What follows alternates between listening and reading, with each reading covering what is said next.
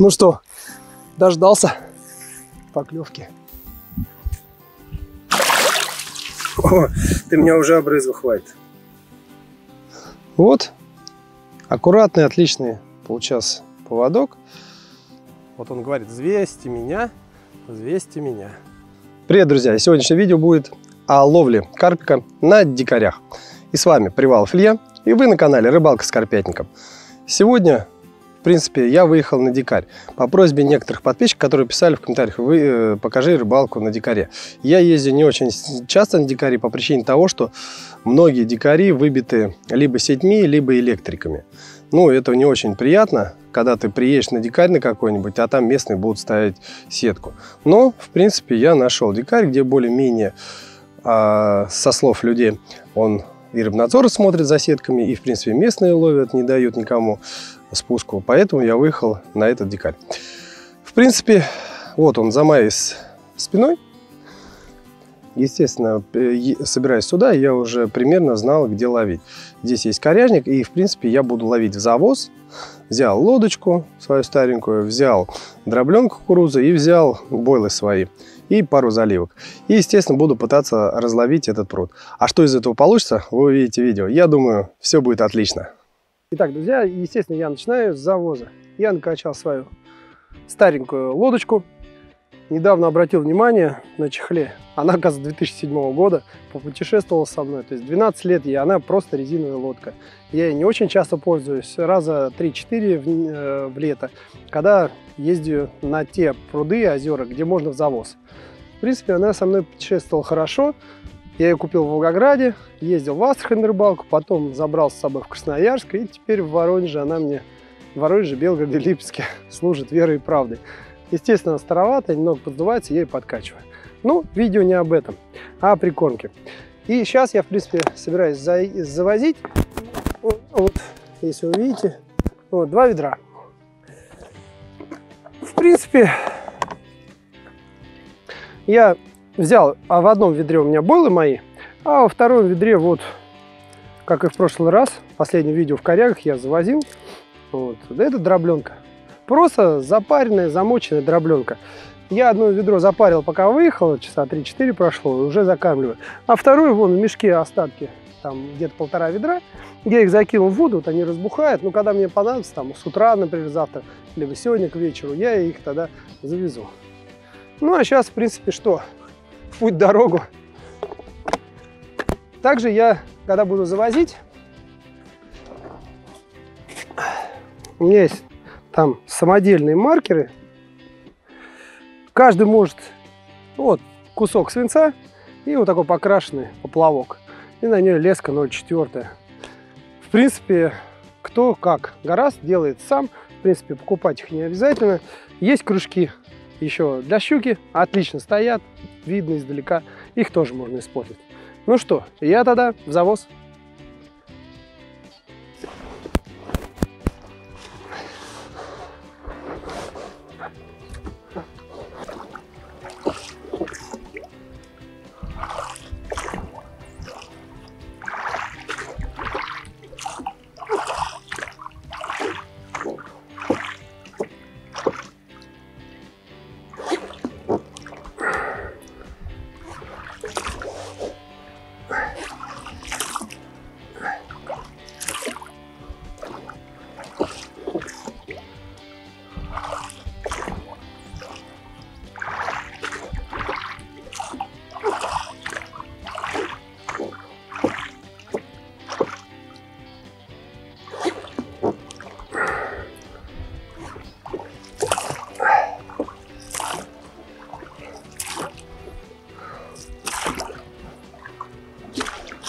Ну что, поставил маркер.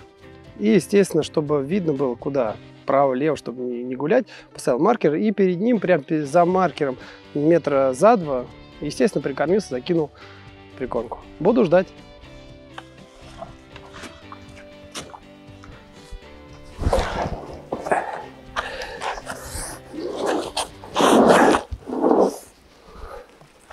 Ну что, наконец первая поклевка. Наверное, где-то полтора часа ожидания. И правда, неплохо рыбка реагирует на прикорм. -то.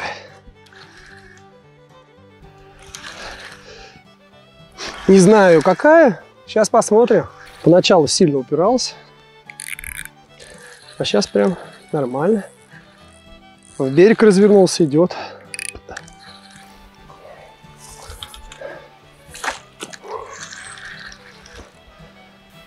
Он небольшой. Ну, долгожданный. Давай, давай. Давай сюда подходи. Не хочет в берег идти. Принципиально.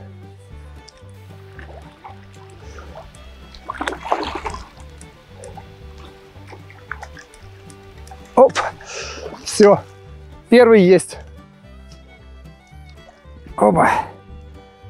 Ну, где кило 200, прогонистый. Кайф. Сейчас покажу.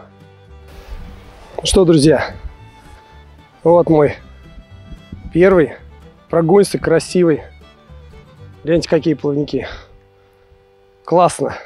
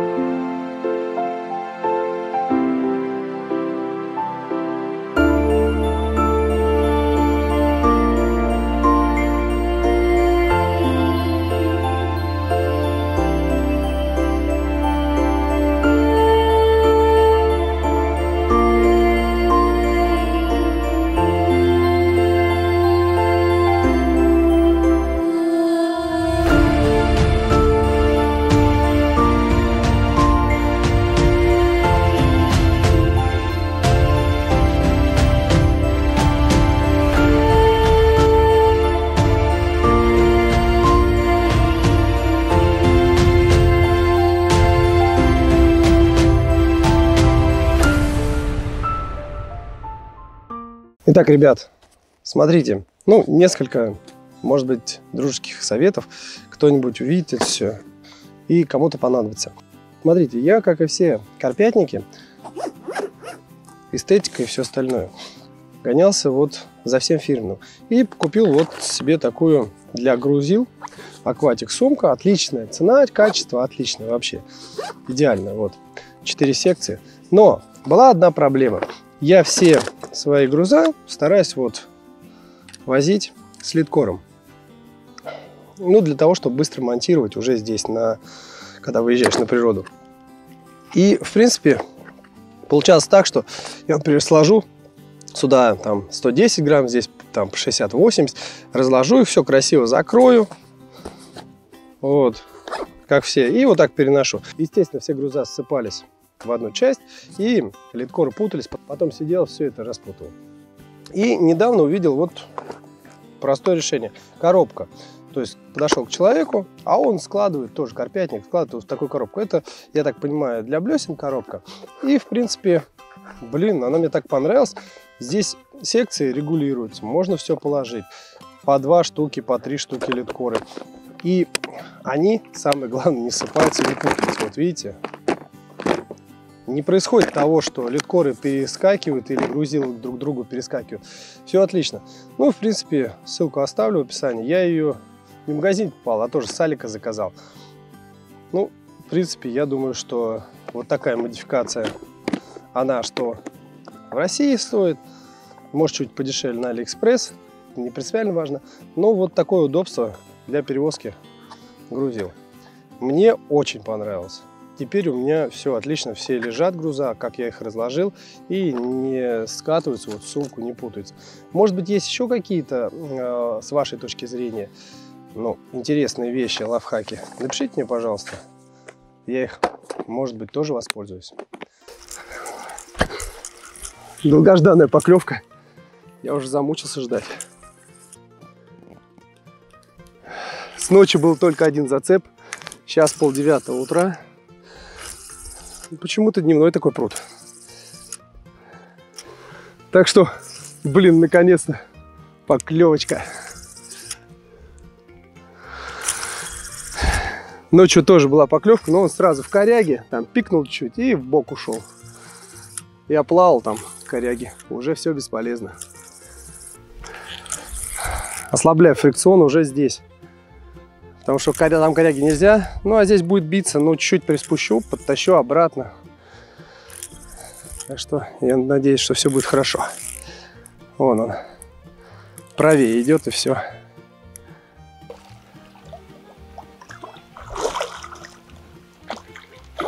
Оп. Yes. Взял. Ничего. Есть. На маты взвешивать.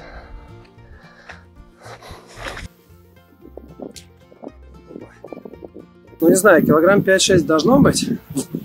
Там посмотрим. Сейчас отцеплю для начала. Вот он, классическая поклевка в нижнюю губу. Обалденно. Работает.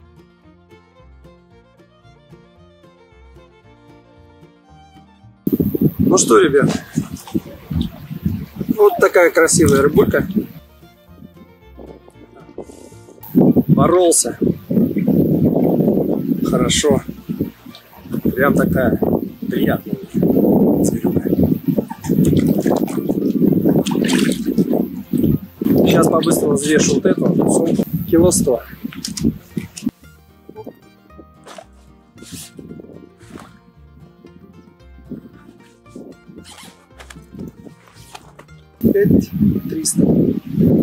Сто. Четыре двести. Ну красивый.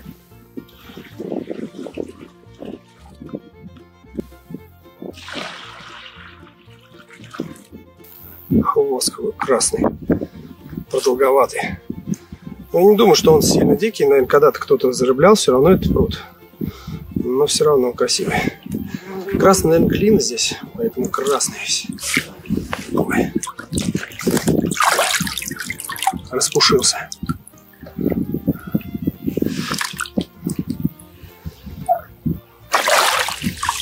Все, все, все. Спокойно, спокойно. О.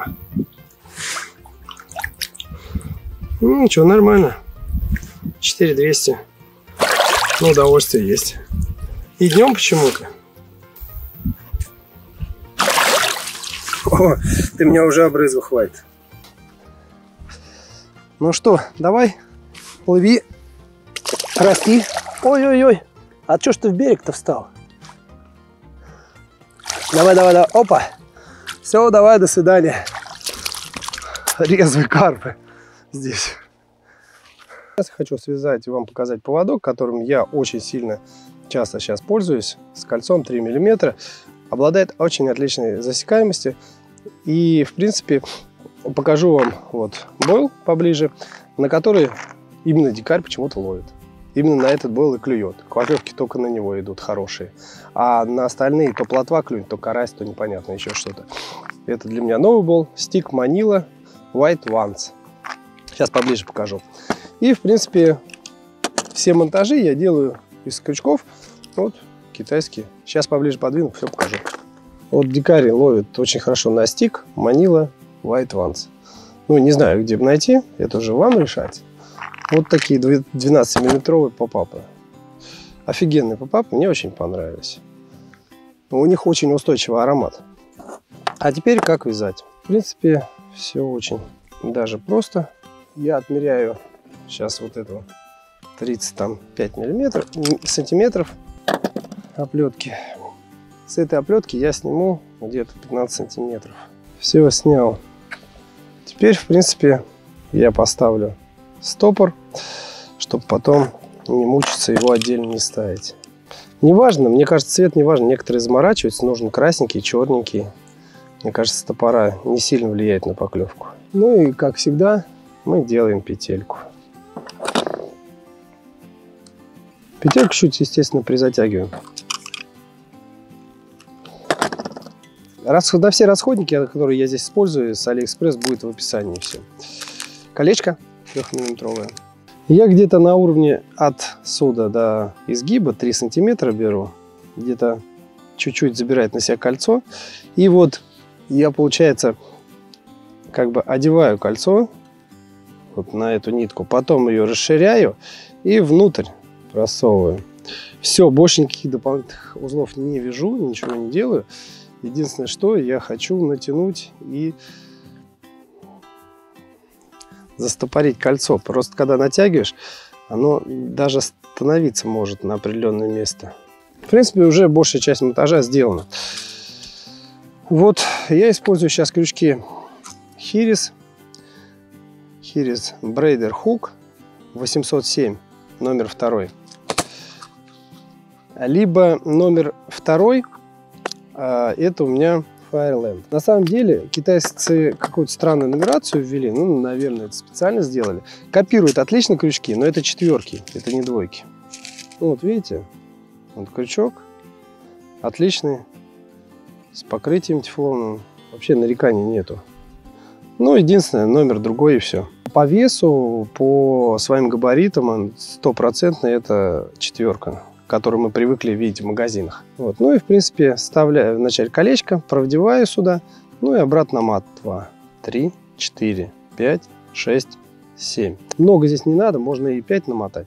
Делаю петличку, то есть у меня отсюда заходит волос, и в эту сторону поверху я придавливаю пальцем.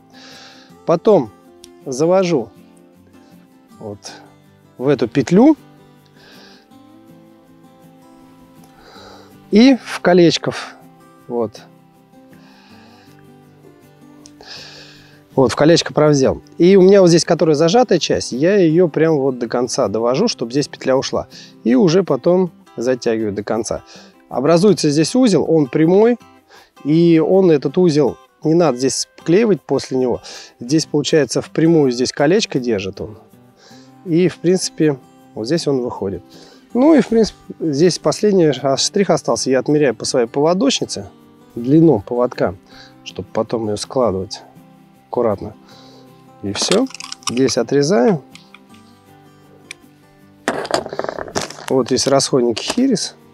Там резинки эти. И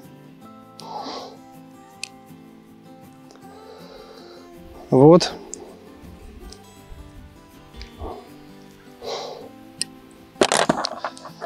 А с этой стороны как раз провдеваю наш бойл. Вот, аккуратный, отличный получался поводок. Ничем не хуже, чем из крючков других. Кстати, туп, ту, вы скажете, да, они тупятся, еще что-то такое. Да нет, ребят, они также работают, как и другие карповые повод, крючки. А, но, с другой стороны, если даже он чуть-чуть затупился, там в корягу попал или в ракушку, то вы с легкой совестью его выкинете, потому что себестоимость этого крючка будет где-то на уровне 3-4 рублей. Я вот, например, разочаровался вот в этих крючках. Вот у меня есть фоксовские S4, три заброса и тупые. Вот реально. Я прям даже не поверил. Перепроверял. Просто три заброса, и они тупые. Ну и сейчас я вам покажу, как плавает с колечком монтаж вода проверочная. Вот. Кстати, а на крючок большой, вот, который двойка идет, вот, китайская, вот такой 15-миллиметровый лихановский попап отлично тоже стоит. На краю я его тоже вам сейчас покажу. Ну, вода мудновата, конечно, извиняюсь, это все-таки прудовая вода. Но в любом случае все отлично видно. Вот стоит вот двойка и четверка. Видите, как идеально все подходит. Вот последние где-то рыбалки 4-5 я ловлю только на эти крючки. Они отлично работают. Да, если затупилось, то выкидываю. Но они сильно не тупятся, если не попадут в что-то твердое. Ну что, дождался поклевки. Только он, кажется, сидит. Корягах. Или мне так кажется.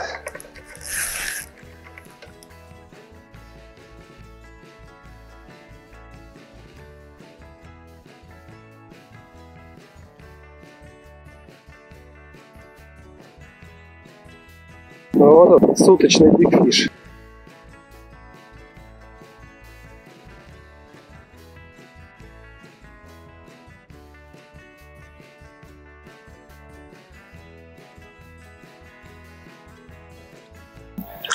Ну что, друзья,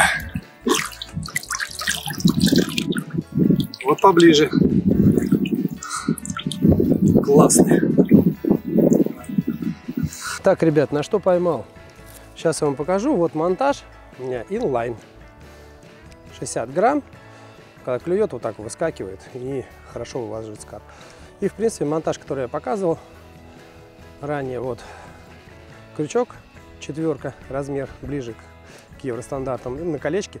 И вот был стик. Он беленький. Здесь видно, что вот вкрапление пробки идет, так как это поп-ап. И он, я его раз запах пытался поменять, ваниль с молоком. Наверное, молочный какой-то протеин там добавлен. Ваниль с молоком. Офигенно клюет. Только на него и берется, в принципе. Ну и вот наш карпик. Давайте с другой стороны покажу. Там с чешуи нет одной. О, и здесь получается походу. Вот такой карпушка красивый. Ну что, взвешивать? Вот он говорит, взвесьте меня, взвесьте меня. Ну что, взвешивание. Сейчас я спущу воду у него.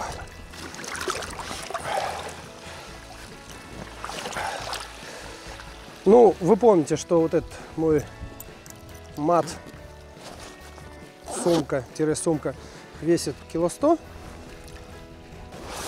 Воду все спустил.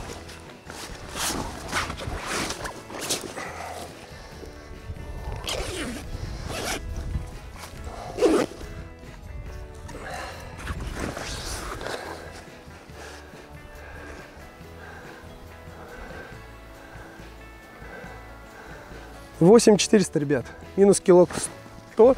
Это семь триста. Ну что, за сегодняшнюю рыбалку, а я выехал сюда только на сутки.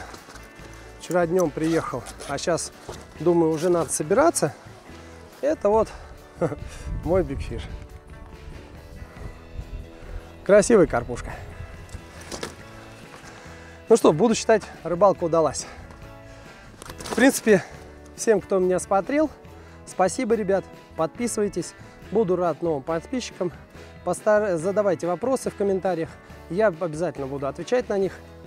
И, в принципе, может быть, новые сюжеты с вашего подачи будут сняты по новым условиям. Всем ни хвоста, ни чешуи.